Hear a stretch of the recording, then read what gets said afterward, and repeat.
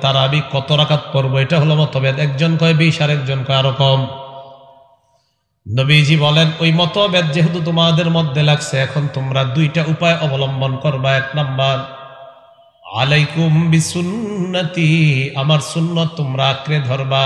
দুই নাম্বার সুন্নতিল খোলাফা ইর রাশিদিন আল মাহদিয়িন, আমার হেদায়ত প্রাপ্ত খোলাফায় রাশেদার সুন্নত আঁকড়ে ধরবা।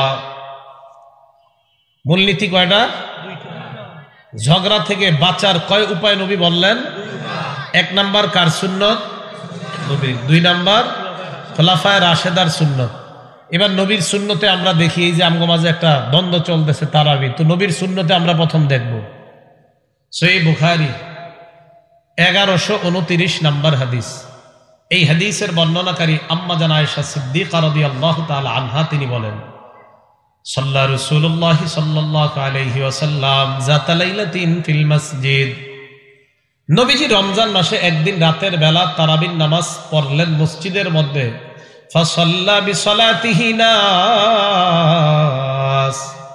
একদল সাহাবা নবীর পিছনে নবীর ইমামতিতে তারাবির নামাজ আদায় করল। তাহলে বলেন তো ইমামকে নবীজি, মুক্তাদি কারা, সাহাবারা? সুম্মা সাল্লা মিনাল কাবিলা ফাঁকা সুরান্নাস পরের দিন আবার নবীজি তারাবি পড়াইলেন, আবার সাহাবাদের সংখ্যা প্রথম দিনের চাইতে পরের দিন জামাতে সাহাবাদের সংখ্যা আরও বেড়ে গেছে। কয়দিন হইল? এই দুই দিনের পরে আরেক দিন পড়াইছে। কেউ কেউ বলেন, তাহলে দুই দিন হোক অথবা তিন দিন। বোখারির বর্ণনা থেকে বোঝা যায়, দুই দিন অথবা তিন দিন। তাহলে নবীর সুন্নতের মধ্যে আমরা পাইলাম দুই দিন বা তিন দিন আল্লাহ রসুল সাহাবাদেরকে নিয়ে তারা নামাজ পড়াইলেন। পরের দিন সাহাবারা মসজিদের মধ্যে উপস্থিত হয়, আল্লাহ নবীর অপেক্ষায় আছে, নবী আসবে আর তাদেরকে নিয়ে তারাবির নামাজ পড়বেন। ফালাম আলাইহি ওয়াসাল্লাম। আল্লাহ নবী আর তারাবির নামাজ পড়াইতে আসে না।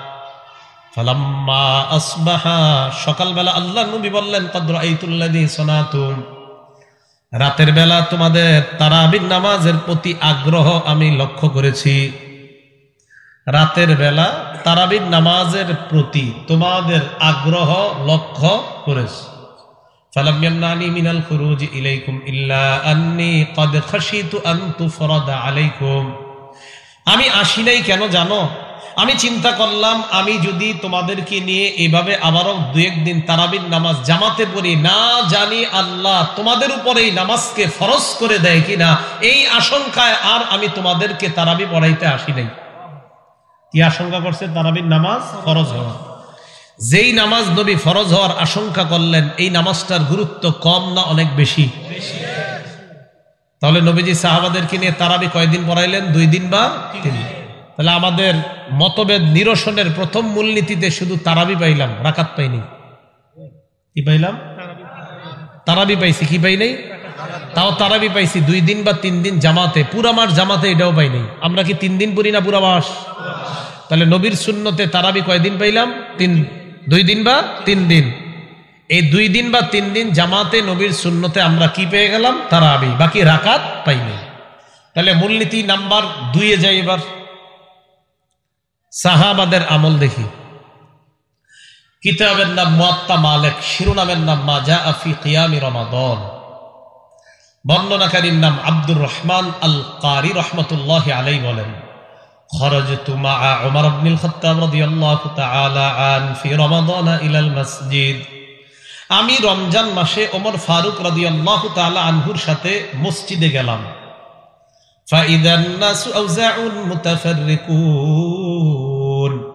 মসজিদে গিয়ে দেখলাম মুসল্লিরা বিক্ষিপ্ত ভাবে মসজিদে তারাবির নামাজ পড়তেছে। ইউসল্লির রজুলুলি নাফসিহি কেউ একা একা তারাবি পড়ে। ওয়াইসল্লির রজুলু ফাইসল্লি বিসলাতিহি আর রহতু কেউ আবার দুই চারজন নিয়ে জামাত করতেছে। একই মসজিদে কেউ কেউ একা একা তারাবি পড়ে, আবার কেউ কেউ দুই চারজন নিয়ে জামাত। বলেন তো এই যে জামাত হচ্ছে অনেকগুলা অথবা একা একা অনেকে নামাজ পড়তেছে এটা কি অনেক মসজিদে না এক মসজিদে? ওমর ফারুক রাজি আল্লাহ তালান এই দৃশ্য দেখার পর তিনি বললেন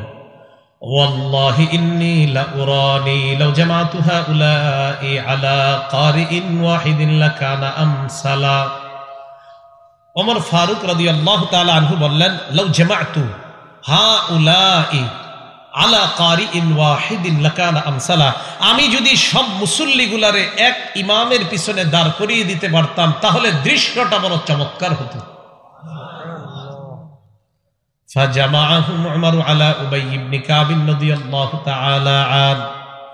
ওমর ফারুক আল্লাহ সব মুসলমানদেরকে উবাই কাব ইমাম বানায়া সব মুসলমানদেরকে এক ইমামের পিছনে জামাতে দাঁড় করায়া দিল শুরু হয়ে গেল পুরা রমজান মাস জামাতে তারাবির নামাজ আদায়।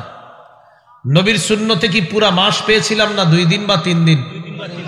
ওমর ফারুকের শূন্য থেকে দুই দিন বা তিন দিন না পুরা মাস? এবার দেখেন তো দুই মূলনীতি মিলাইলে কি মিলে? তারাবির নামাজ জামাতে পুরা মাস। তারাবির নামাজ জামাতে পুরা মাস। দুইটা দুইটা উপায় যদি অবলম্বন করেন। তারাবির নামাজ জামাতে পুরা মাস। নবীর শূন্যতে জামাত দুই দিন বা তিন দিন ওমর ফারুকের শূন্যতে জামাত পুরা মাস।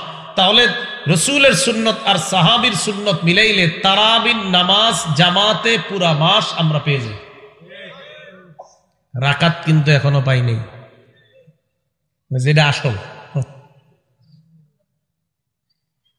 এটাও মোয়াত্তা মালিক, ইমাম মালিক রহমতুল্লাহ আলে আনছেন মাজা আফি কিয়ামি রমাদান শিরোনামে।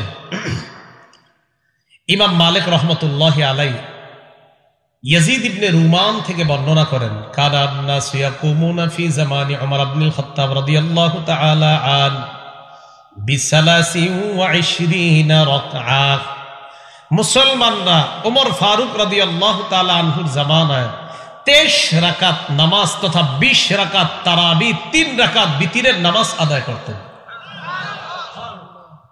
এবার মিলাদ আল্লাহ রসুলের সুন্নত আর সাহাবির সুন্নত। যদি আমরা দুইটা মিলাই, তাহলে আমরা তারাবির নামাজ জামাতে বিশ রাকাত পুরা মাস পেয়ে গেলাম। তারাবির নামাজ জামাতে বিশ রাকাত পুরা মাস পেয়ে গেলাম। তাহলে ঝগড়া নিরসনের মূলনীতি উপায় নবীজি কয়টা বললেন? এক নাম্বার কার সুন্নত? নবীর। দুই নাম্বার সাহাবির। এবার দেখেন তো আমরা যে সাহাবির সুন্নত আঁকড়ে ধরে বিশ রাকাত পরিমাণি কার কথা মানি? নবীর কথা? আরে নবীরা বললেন, আমার সুন্নত আর খোলাফায় রাশেদার সুন্নত। ওমর ফারুক রদি আল্লাহ আন, খোলাফায় রাশেদার মধ্যে কয় নাম্বার সাহাবি? দ্বিতীয়, তাহলে ওমর ফারুকের সুন্নত মানা মানি ওই যে নবী বলছে, আমার সুন্নত আর সাহাবার সুন্নত। তো ওমর ফারুকের সুন্নত মানা মানি রসুলের কথার উপর আমল করা। এইভাবে তারাবির নামাজটা শুরু হয়ে গেল, বিশ রাকাত তারাবি প্রথম রাত আপনি এবার বিশ রাকাত তারাবি পড়লেন, বিতির পড়লেন, পড়ার পর। যদি পারেন রাতে আবাদত করবেন, যদি পারেন আর কি। আর যদি না, আপনার ঘুমের প্রয়োজন, সকালে অফিস আছে, তো আপনি ঘুমায় গেলেন তাড়াতাড়ি। আড্ডাবাজি করেন না, মোবাইল চালায়েন না, আড্ডাবাজি করেন না, ঘুমায় যান। ঘুমিয়ে সাহারি যখন আপনি খাবেন, এই সাহারি খাওয়ার এই পরিমাণ আগে ওঠার চেষ্টা করেন, যেন আপনি আট রাকাত তাহাজুদ নামাজ পড়তে পারেন। কয় রাকাত? যদি আট রাকাত না পারেন ছয় রাকাত। যদি ছয় রাকাত না পারেন চার রাকাত। যদি চার রাকাত না পারেন, ইনশাআল্লাহ দুই রাকাত যেন না ছুটে এই দৃঢ় প্রতিজ্ঞা করে ফেলেন। যে আমি কমপক্ষে দুই রাকাত তাহাজুদ সালাদ প্রত্যেক দিন সাহারির আগে পড়বই ইনশাআল্লাহ। কি নিয়ত করা যায় কিনা? আচ্ছা। তাহাজুদের সালাদ যদি আট টাকাত পড়েন, তাহলে রসুল সাল্লাহ আলি সাল্লামের বারো মাসের একটা শূন্যতের উপর আমল হয়ে যাবে। কয় মাস? রসুল বারো মাস আট টাকার তাহাজুদের সালাদ আদায় করতেন। সেই বুখারির বর্ণনা এগারোশো সাতচল্লিশ নাম্বার হাদিস। এই হাদিসের বর্ণনাকারী আবু সালামা, তিনি বলেন, আমি আম্মাজান আয়েশা সিদ্দিকা রদি আল্লাহ তালা আনহাকে জিজ্ঞাসা করলাম كيف كانت صلاة رسول الله صلى الله عليه وسلم في رمضان আম্মা জান আল্লাহ নবী রমজান মাসে রাতের আমল কেমন ছিল আপনার কাছে জানতে চাই রাতের নামাজ কেমন ছিল আপনার কাছে জানতে চাই আম্মা জান আয়েশা সিদ্দিকা রাদিয়াল্লাহু তাআলা আনহা জবাব দেয় মা কানা রাসূলুল্লাহ সাল্লাল্লাহু আলাইহি ওয়াসাল্লাম ইয়াজিদু ফি রমাদান ওয়ালা ফি গায়রিহি আলা 11 রাকাতান আল্লাহ নবী রমজানে এবং রমজানের বাহিরে বললাম? রমজানে এবং রমজানের বাহিরে রাতের বেলা আট টাকার তাহাজুদ আর তিন টাকার বিতির এই এগারো রাকাত সালাত আদায় করতেন। কয় রাকাত? আট টাকার তাহাজুদ আর তিন টাকার বিতির। এখন আমাদের অনেক ভাইরা এই হাদিসটাকে আট টাকার তারাবির দলিল হিসাবে বলে। এখন আপনারা বলেন তো আচ্ছা মাইনা নিলাম এই হাদিসটা আট টাকার তারাবির মেনে নেই।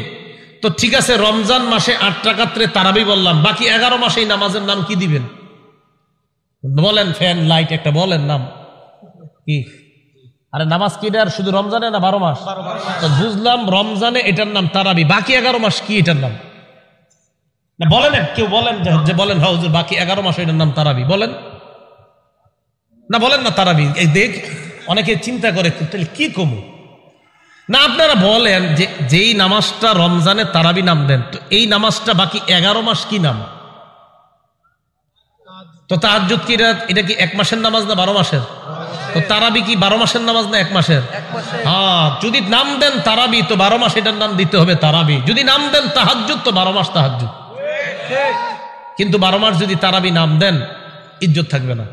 কারণ তারাবি তো এক মাসের। তাহলে বোঝা গেল এটা শুধুমাত্র, দেখেন, ইনসাফের সাথে আপনি একটু ভাবেন। আম্মাজান বললেন, রসুল রমজানে এবং রমজান ছাড়া যত মাস আছে, পুরা বারো মাস আট টাকাত রাতের নামাজ পড়তেন। তো একই নামাজের নাম আপনি দুই নাম কীভাবে দিবেন? একটু আগে কোন নামাজ পড়ছেন? এসা আগামীকাল এটার নাম কি? পরের দিন? রমজান মাসে? না, অন্য একটা নাম নেন। তাহলে বোঝা গেল না হাসবেন না কেউ হাসবেন না এইগুলা নিয়ে অনেক ঝগড়া করেন ঝগড়া করেন না। হাসেন না মন দিয়ে বুঝেন। নামাজ পাঁচক্ত নামাজের নাম বারো মাসে একই নাম থাকে। তাহাজুদ নামাজের নাম বারো মাসে একই নামাজ। তারাবিন নামাজ এটা বারো মাসের নামাজ না এটা এক মাসের নামাজ। এই বিষয়টা কেন আমাদের মাথায় ঢুকে না? আল্লাহ আমাদের সকলকে আল্লাহ আমি বুঝানোর চেষ্টা করছি আপনি সবাইকে বুঝ দিয়ে দিন। ইনসাফের সাথে কথাগুলো বোঝার চেষ্টা করবে। আবু দাউদ শরীফের তেরোশো সাত নম্বর হাদিস। এই হাদিসের মধ্যে আসছে। মা বোনরাও তো আলোচনা শুনতেছে। এই আপনারা যারা স্বামী আছেন, আপনার বিবিরে এত প্রেশার দিয়েন না যে অন্তত রাতের বেলা যখন রান্না করে, তরকারি গরম করে, একটু দুই চার রাখার তাহাজুদ পড়ার সুযোগও করে দিয়ে দুই চার রাখার তাহাজুদ পড়ার সুযোগ। আমরা মা বোনদেরকে কি করি? রমজান মাসে ইফতারিয়ার আপনার সাহারিতে এত ব্যস্ত করে দেই যে এদেরকে আমরা আবাদতের সুযোগ দিই না। এই জন্য আপনার আল্লাহর হস্তে রমজান মাসগুলা প্রয়োজনে যদি পারেন, আপনি একটু সহযোগিতা করেন। কিন্তু এই মা বোনদেরকে আপনি আবাদত শূন্য করে দিবেন যে রমজানে আমি মজার মজার খানা খামাই আচ্ছা রমজানে মজার খানা খাইতে হবে, এটা আপনারা কুই পাইছেন জিনিসটা? তো বুঝাইতে চাইলাম রমজান যেন আমাদের এবাদত, এটা মাথায় থাকে যে রমজান আমরা এবাদত মানে রমজান আমাদের জন্য একটা অফার। এই অফার যেন আমি, আমার মেয়ে, আমার ছেলে, আমরা সবাই গ্রহণ করতে পারি, এই মানসিকতা থাকা। আল্লাহ বুঝার তৌফিক দান করেন। আম্মা জান আয়সা সিদ্দিকা তাআলা আনহা বলেন, লা তুমি তাহাজ্জুদ নামাজ ছেড়ে দিবা না। فإن رسول الله صلى الله عليه وسلم كان لا يدعه আল্লাহ নবী কখনো তাহাজ্জুদ নামাজ ছাড়তেন না وكان إذا مرض أو صلى وكان إذا مرض أو كسلا صلى قاعدا আল্লাহ নবী যদি অসুস্থ হইতেন অথবা ক্লান্ত বোধ করতেন নবীজি বসে বসে হলেও তাহাজ্জুদের নামাজ আদায় করতেন অসুস্থ যদি হতেন ক্লান্তি অনুভব যদি করতেন, বসে বসে হলেও তাহাজুদের নামাজ আদায় করতেন। ভাই, তাহলে এই রমজানে ইনশাল্লাহ আমরা নিয়ত আট রাকাত, না পারলে ছয় রাকাত, টাইম না থাকলে চার রাকাত, আরও সময় কম থাকলে দুই রাকাত, কিন্তু দুইয়ের নিয়ত করেন না, নিয়ত করেন আটের। ইনশাল্লাহ আল্লাহ অন্তত কাছাকাছি তৌফিক দান করবেন সেই বুখারির বর্ণনা, আম্মা জানা আয়সা সিদ্দিকার আরেকটা বর্ণনা। আম্মাজান আয়সা সিদ্দিকা বলেন, লাম তার আম্মাজান বলেন, তিনি নবীজিকে কখনো বসে নামাজ পড়তে দেখেন নাই, হাত্তা আসান্না বয়স হওয়ার আগে। নবীজির যখন বয়স বেড়ে গেল, তখন নবীজি তাহাজ্জুদ পড়তেন কীভাবে? বসে বসে তাহাজ্জুদের নামাজ শুরু করতেন। কানা ইয়া করা ও কাইদা বসে তেলাওয়াত করতেন। ওয়াকানা ইদা আরাদা ইয়ার যখন রসুল রুকু করার ইচ্ছা করতেন, কমা তখন দাঁড়াইয়া যাইতেন। দাঁড়ানোর পর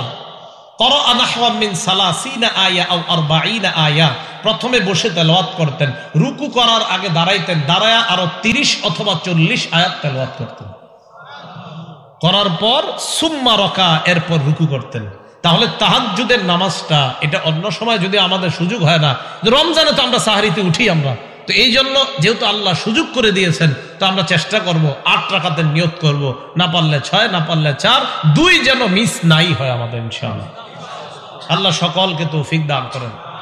মা বোন যারা আছেন, আপনারা যখন সাহারির সময় আগে ওঠেন, উঠার পর আপনি এমন একটা সময় নিয়ে উঠবেন, তরকারি, ভাত ইত্যাদি গরম করার জন্য, যে এমন একটা সময় নিয়ে উঠবেন যে আপনিও নিয়ত করবেন, আমি আট টাকার তাহাজুদ পরে এরপরে আমি রান্নার কাজ শুরু করব।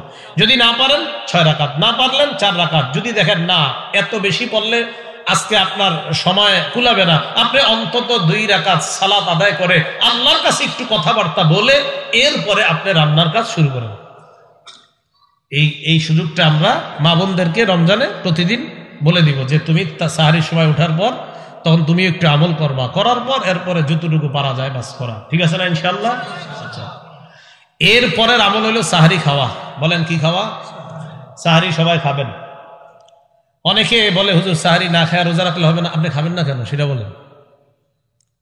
মানে একটা ফাইজ দেবে আর কি। মানে আপনি কেন খাবেন না?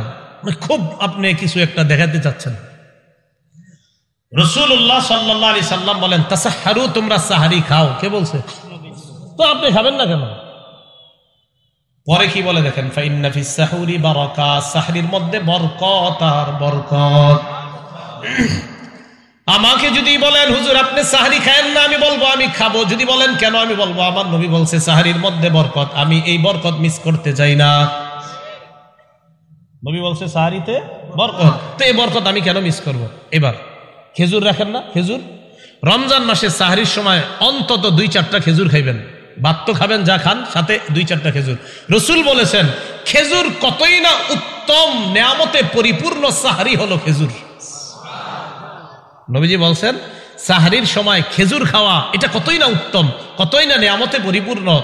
তো এই জন্য যেহেতু আমার রসুল সাহারির মধ্যে সবচেয়ে শ্রেষ্ঠ খাদ্য খেজুরকে বলছেন, তো আমরা সাহারিতে অন্যান্য খাদ্যের সাথে আমরা চেষ্টা করব দুই চারটা খেজুরও যেন আমরা খাইতে পারি। আর খেজুর যদি আপনি খান, সারাদিন যে রোজা রাখবেন, একটা ক্লান্তি আসবে। শরীরের মধ্যে একটা কাজ করতে গিয়ে আপনার শরীরের পুডিং খরচ হবে। আপনি খোঁজ নিয়ে দেখেন, ডাক্তার বলবে যে খেজুরে আল্লাহ পাক রব্বুল আলমিন এত আশ্চর্য রকমের নিয়ামত দিয়ে রেখেছেন খেজুরের মধ্যে, আপনার ওই শক্তি খরচ হওয়াটাকে এই খেজুরের মাধ্যমে ইনশাল্লাহ ঘাটতি পূরণ হয়ে যাবে। তাহলে সাহারিতে অন্যান্য খাদ্যের সাথে শ্রেষ্ঠ নিয়ামতের একটা খাদ্য আছে, কি নাম? খেজুর। মনে থাকবেনি আচ্ছা। এবার আপনার রোজা শুরু হলো।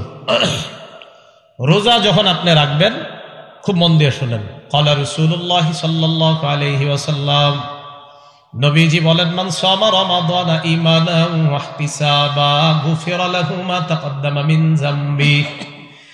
যে ব্যক্তি ইমানের সাথে সোয়াবের আশায় রোজা রাখে, তার আগের গুনাহগুলো মাফ করে দেওয়া হয়। তাহলে আপনার রোজা শুরু হয়ে গেল। রসুল্লাহ সাল্লাহ আলি সাল্লাম বলেন আসৌমু জুন্নাতুন মালাম ইয়াখরিখা রোজা জাহান্নাম থেকে বাঁচার জন্য ঢাল যতক্ষণ এই ঢালকে ছিদ্র করা না হয়। কি করা না হয়? বলেন আমার আপনার রোজা জাহান্নাম থেকে বাঁচার ঢাল যদি কি করা না হয়? সাহাবারা প্রশ্ন করলেন ইয়া রসুল আল্লাহ রোজা আবার ছিদ্র হয় কীভাবে? আল্লাহ নবী বললেন দুইটা অপরাধের মাধ্যমে রোজা ছিদ্র হয়ে যায়। এক নাম্বার মিথ্যা কথা দুই নাম্বার গিবত। মিথ্যার কারণে রোজা ছিদ্র হয়ে যায়, গিবতের কারণে রোজা ছিদ্র হয়ে যায়। মানুষ মিথ্যা বলে জিব্বা দিয়ে, গিবত করে মানুষ জিব্বা দিয়ে।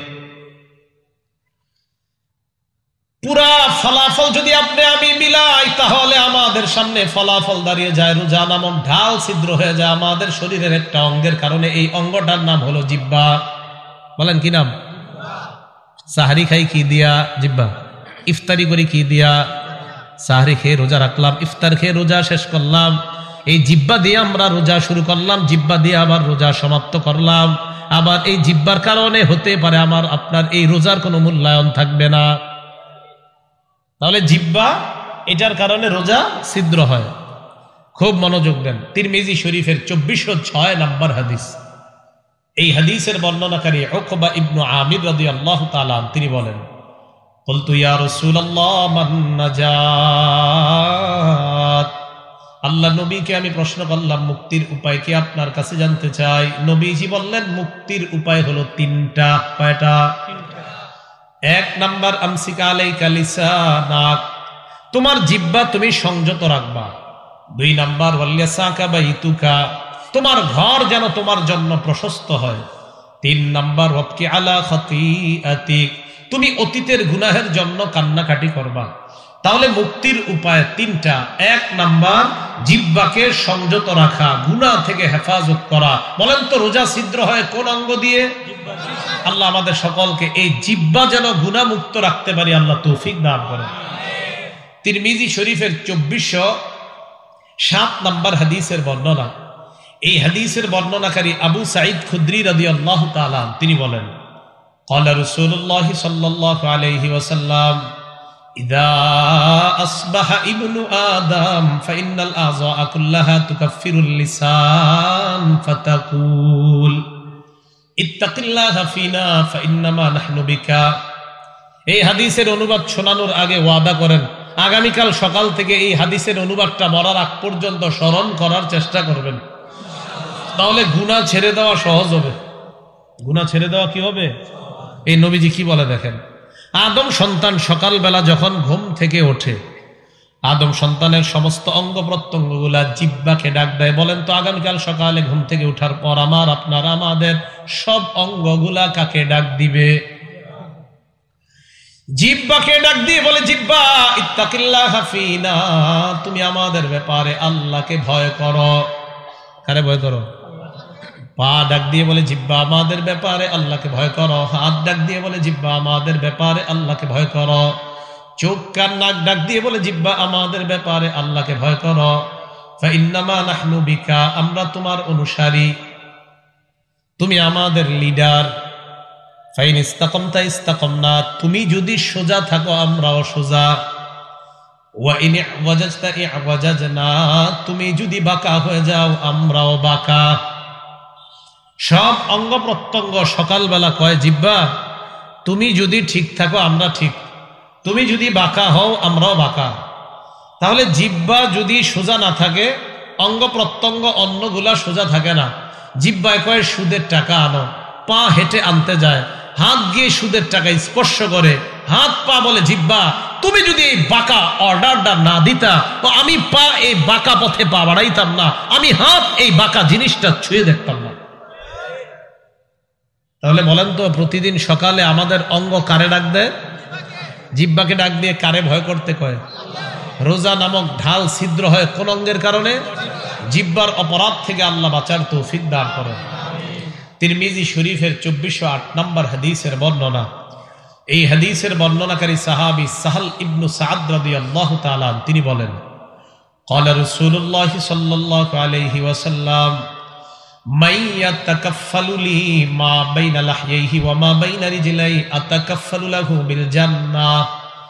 যে ব্যক্তি তার দুই চোয়ালের মাঝে জিব্বা আর দুই রানের মাঝে লজ্জাস্থান, এই দুইটা জিনিস গুণা থেকে বাঁচার নিশ্চয়তা আমাকে দিয়ে দেয়, আমি নবী তাকে জান্নাতে নেওয়ার জিম্মাদার হয়ে যাব।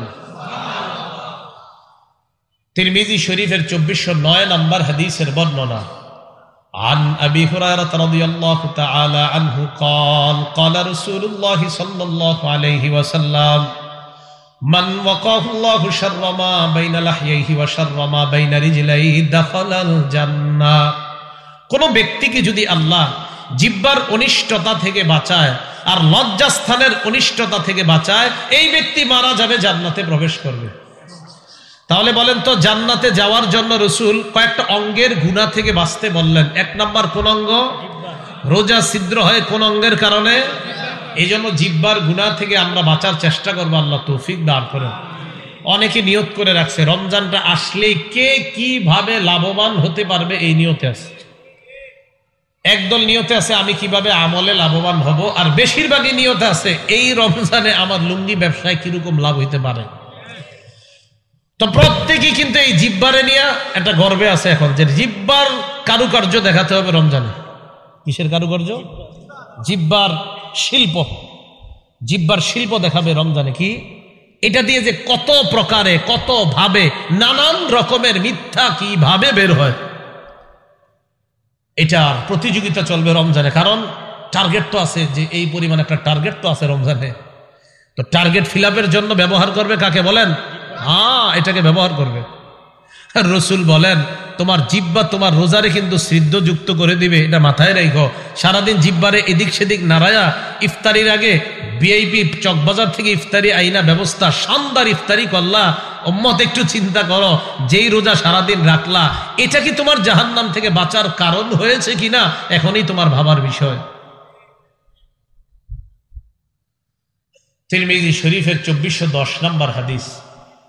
এই হাদিসের বর্ণনাকারী সুফিয়ান ইবনে আবদুল্লাহ আসাকফি রাদিয়াল্লাহু তাআলা তিনি বলেন, আমি নবীজিকে প্রশ্ন করলাম, মা আখওয়াফু মা তাখাফু আলাইয়া ইয়া রাসূলুল্লাহ? হে আল্লাহ রাসূল, আমার জন্য সবচেয়ে ক্ষতিকর, সবচেয়ে ভীতিকর, সবচেয়ে ভয়ঙ্কর বিষয় আপনি কোনটাকে মনে করেন? নবীজি কি করলেন দেখেন নবী নিজের জিহ্বা মুবারক ধরলেন, ধরার পর বললেন হাজা এটা কি বললেন? এটা। এটা আমি তোমার জন্য সবচেয়ে ভীতিকর, ক্ষতিকর, বিপজ্জনক মনে করি। তাহলে বলেন তো, আমাদের জন্য সবচেয়ে বিপজ্জনক অঙ্গ রসুল কোনটাকে মনে করেন? রোজা ছিদ্র করে কোন অঙ্গ? জিব্বা। মানুষ জাহান্নাম থেকে বাঁচতে পারবে কোন অঙ্গের গুণা থেকে বাঁচলে? জিব্বা। এবার তিরমিজি শরীফের ছাব্বিশশো ষোলো নম্বর একটা হাদিস শোনেন। হাদিসের শেষের দিকে একটা বিষয় আছে যেটা খুব ইন্টারেস্টিং লম্বা একটা ওয়াজ করবে নবীজি, করার পর শেষের দিকে একটা কথা বলবে। আগে ওয়াজটা শোনেন, কি ওয়াজ করে নবীজি? এই হাদিসের বর্ণনাকারী সাহাবি মোয়াজ ইবনু জাবাল নদী আল্লাহ তালান তিনি বলেন, রসুলের সাথে এক সফরে ছিলাম আমরা। সফরে চলতে চলতে একদিন আমি নবীজির কাছাকাছি চলে গেলাম। কাছাকাছি। যাওয়ার পর আমি নবীজিকে বললাম আখবির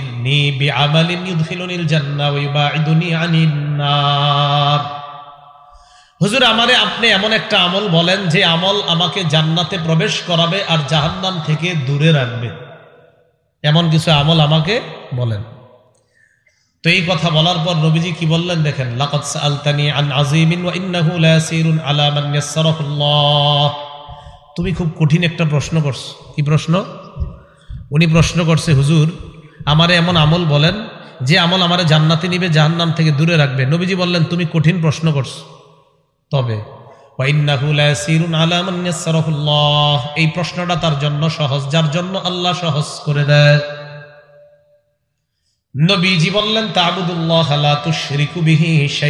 এবাদত করবা, আল্লাহ শিরিক করবা না। এক। দুই নাম্বার নামাজ কায়েম করবা। তিন নাম্বার জাকা জাকাত আদায় করবা। চার নাম্বার রমাদন, রমজানের রোজা রাখবা। পাঁচ নাম্বার তাহুজুল বাইতা, হজ করবা। কি করবা? আল্লাহ তাড়াতাড়ি হজ করার তৌফিক দান করেন। হ্যাঁ? আল্লাহ তাড়াতাড়ি হজ যারা করেন নাই, খুব তাড়াতাড়ি হজ করার তৌফিক দান করেন। আল্লাহ আপনি কবুল করেন। খুব তাড়াতাড়ি সবাইকে হজে যাওয়ার তৌফিক দান করেন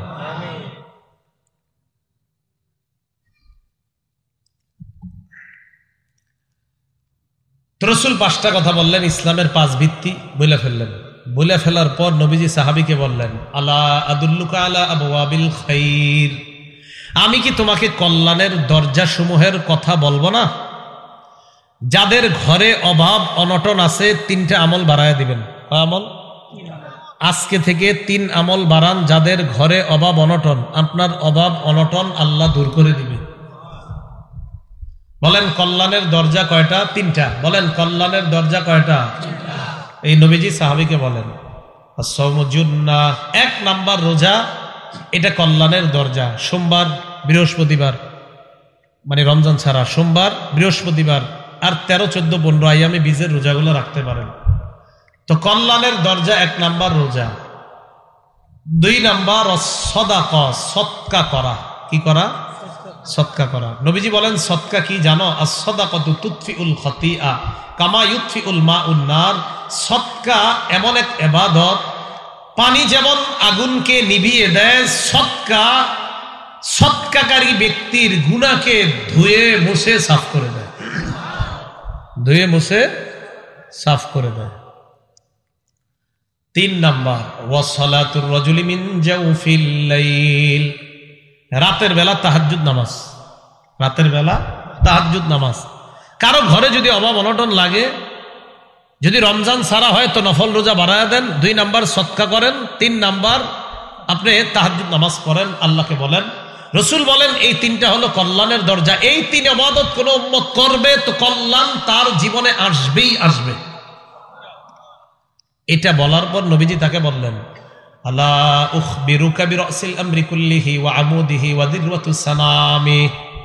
আমি কি তোমাকে প্রত্যেকটা জিনিসের মূল কোনটা এটা বলব না? আর প্রত্যেকটা বিষয়ের খুঁটি কোনটা এটা কি বলব না? আর প্রত্যেকটা জিনিসের সর্বোচ্চ চূড়া কোনটা এটা বলব না? নবীজি কিন্তু একের পরে এক ওয়াজ করতেছে ওনারে। জি হুজুর বলেন, নবীজি বললেন, রসুল রসুল আমরি আল ইসলাম প্রত্যেকটা জিনিসের মূলের নাম হলো ইসলাম। বলেন প্রতিটা জিনিস আমাদের যে মুসলমানদের মূলের নাম কি? ইসলাম। ও আমুদুহু আসসালাহ। খুঁটির নাম নামাজ। বলেন খুঁটির নাম? আল জিহাদ সর্বোচ্চ চূড়ার নাম হলো জিহাদ। বলেন সর্বোচ্চ চূড়ার নাম? এবার পরীক্ষা দেন। বলেন কল্যাণের দরজা কয়টা? এক নাম্বার। রোজা, এক নাম্বার। দুই নাম্বার, সৎকা। তিন নাম্বার, তাহাজ্জুদ। মূলের নাম কি? ইসলাম। মূলের নাম কি? খুঁটির নাম? খুঁটির নাম? আর সর্বোচ্চ চূড়ার নাম? তাহলে আর কিছু বাকি আছে? নবীজি সব বলে ফেলছে না? নবীজি সাহাবিরি কয় মাস এই সবগুলা ওয়াজ যে তোমারে করলাম, এটার একটা সার নির্যাস আছে এটাই তো তোমার এখনও বলিনি। এগুলা কি আছে? মাজ ইবনু আল্লাহ রসুল বললেন আল্লাহ আদুল্লুকা আল্লাহ মালাকি জালিকা কুল্লি? এই যে এতক্ষণ তোমারে ওয়াজ করলাম। এই ওয়াজগুলা তোমার তখন ঠিক থাকবে যদি শেষের এই ওয়াজটা তুমি শোনো। এটাই যদি না শোনো, তো উপরেরগুলা তো ঠিক থাকবে না। জি হুজুর বলেন আম সাকা আলা লিসানি। নবীজি নিজের জিব্বা মুবারক ধরে বললেন মাস কুফা আলাইকা হাজা এটা নিয়ন্ত্রণ করবা, সব ঠিক থাকবে। বলেন, রোজা ছিদ্র হয় কোন অঙ্গের কারণে? রসুল কি বলতেছে দেখেন এটা নিয়ন্ত্রণ করবা মাস তোমার সব যত আবাদতের ওয়াজ করলামে তখন সব ঠিক থাকবে। মাজ ইবনু জাবাল আল্লাহ তাআলা আনহু বললেন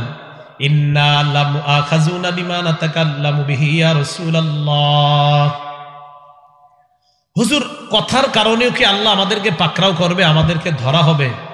ভাই কথাটা মন দিয়ে শোনেন, কি বলছে? হুজুর, কথার কারণেও কি আমাদেরকে ধরা হবে? নবীজি বললেন হাল্লা কুব্বুন্না সাফিদ নারি আলা বুজুহিহিম আও আলা মানাখিরিহিম ইল্লা হাসাইদু আলসিনাতিহিম। বেশিরভাগ মানুষকে মাথাটা নিচের দিকে দিয়ে, পাগুলা উপরের দিকে দিয়ে, শুধুমাত্র মুখের অপরাধের কারণে মুখ থুবড়ে জাহান্নামে নিক্ষেপ করা হবে। তাহলে কোন অঙ্গের অপরাধে মানুষ বেশি জাহান্নামি হবে? বলেন, কোন অঙ্গের অপরাধে রোজা ছিদ্র হয় কোন অঙ্গে দিয়ে? মানুষ জাহান্নামি হয় বেশি কোন অঙ্গের কারণে? এই জন্য রসুল বললেন, জিব্বা দিয়ে তোমরা তোমাদের রোজা এটাকে ছিদ্রযুক্ত করে ফেলো না, এটাকে ছিদ্র করে ফেলো না। জিব্বা দিয়ে সাহারি খাই, জিব্বা দিয়ে ইফতার করি, হতে পারে জিব্বার কারণে আমার রোজাটাই নষ্ট হয়ে যাবে। এই জন্য আল্লাহ আমাদের সকলকে রোজাটা যেন আমরা ত্রুটি মুক্ত ভাবে তাহলে ইনশাল্লাহ এই রমজানের একটা রোজাকেও আমরা ছিদ্র করব না। রাজি আছেন সবাই ইনশাল্লাহ তাহলে এই জন্য একটা অভ্যাস করতে হবে কি? ওই যে প্রথম থেকে, এখন থেকে অভ্যাস যে আমি জিব্বাকে নিয়ন্ত্রণ করব। কিছু বলার আগে খালি ভাববেন, এটা কি বলব? না বলব না। এ আজকে থেকে ট্রাই করেন যে আমি কোনো বেহুদা কথা বলব না। এখন থেকে ট্রাই করেন যে আমি বেহুদা কথা বলব না। এইভাবে আপনি রমজান পর্যন্ত আপনি কাটান। দেখবেন রমজানে বেহুদা কথা না বলা আপনার জন্য সহজ হয়ে যাবে। রোজা রাখলেন। রাখার পর এবার ইফতারি করবেন। বলেন কি করবেন? আপনাদের কাছে আমার একটা আবদার। রমজান মাসে। রমজানে সাধারণত আমরা সবাই সব নামাজগুলা খুব গুরুত্ব দিয়ে পড়ি, শুধু মাগরিব না ছাড়া। কোনটা হুজুর? কোনটা? সারাদিন রোজা রাখছি কার জন্য আমরা? মাগরিব পড়া কার হুকুম? বেশিরভাগ মুসলমানরা মাগরিবের নামাজটা ইফতারির কারণে জামাতটা ছুটে যায়। আপনারা আমার সাথে ওয়াদা করেন যে ইনশাল্লাহ এই রমজানে যে ইফতারির কারণে, আরে খাওয়ার কারণে আমার মাগরিব ছুটবে, এটা হতে দিব না আমরা ইনশাল্লাহ কি কি করবেন এই জন্য রমজান মাসে সাধারণত আর কি, এটা আল্লাহর পক্ষ থেকেই। রমজানে সাধারণত মানুষ যত কিছুই খায়, সাধারণত বেশিরভাগেরই কোনো গ্যাস ট্যাসের সময় ঝামেলা হয় না। এটা মাসাল্লাহ আলুর চপ, বেগুনি টেগুনি যা খায়, রমজানে সবাই ফিট থাকে মাসাল্লাহ তো এটা সাধারণত ক্ষুধার্ত অবস্থায় একটু মন চায় সবার। তো আপনারা কি করবেন? সাধারণত এটা যদি আপনি ইফতারির সময় বানান, তখন সাধারণত ওইটা খাই হওয়ার সম্ভাবনা থাকে বেশি। এক্ষেত্রে আপনি দু একটা খেজুর অথবা একটু পানি নিয়ে আপনি জামাতটা পরে ফেলেন, জামাত পরার পরে আইসা ওইটা বানায় আপনারা খান, সমস্যা কি?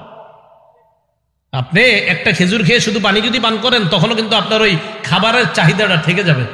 তো আপনি খেজুরটা খান, খাওয়ার পর পানি নিয়ে আপনি জামাত। বাস আপনি মানে বুঝাবেন, আল্লাহ, আপনার জন্য সারাদিন রোজা রাখছি আর আমি আপনার জন্য এই মাগরিবের নামাজটাও আপনার হুকুম। আমি ইফতারির কারণে আমার রবের এই মাগরিবের হুকুম আমি জামাত ছেড়ে দিব।